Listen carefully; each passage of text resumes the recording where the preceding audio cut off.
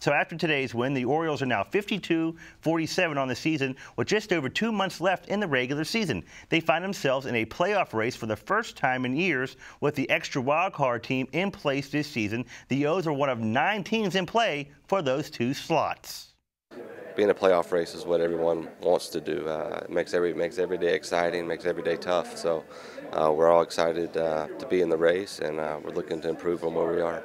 What's it like now on a team knowing that every at bat counts, every pitch counts, every game counts down the stretch as you guys try to play your way in?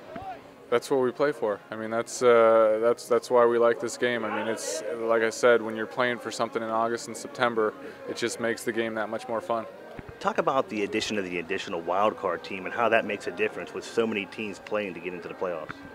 It's going to be interesting. I mean, for the fans, um, number one, I mean, they're they're going to get that game 163, which is going to be pretty exciting.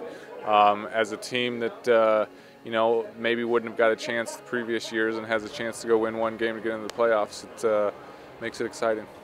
So with the Orioles in the middle of this playoff race, trying to qualify as one of the wild card teams of the American League, management has stated that they will be buyers at the trade deadline. That means prospects in their minor leagues, including the Bowie Baysox, could be traded elsewhere. You can't control any of that stuff, so really it's just uh, you know go out there and, and work hard and play hard, and you know hopefully you know you want to be a part of what the Orioles are doing.